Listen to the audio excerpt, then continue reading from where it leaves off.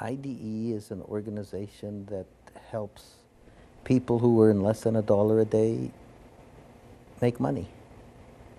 Uh, and what we, our mission is to increase the income of dollar a day families by $500 a year.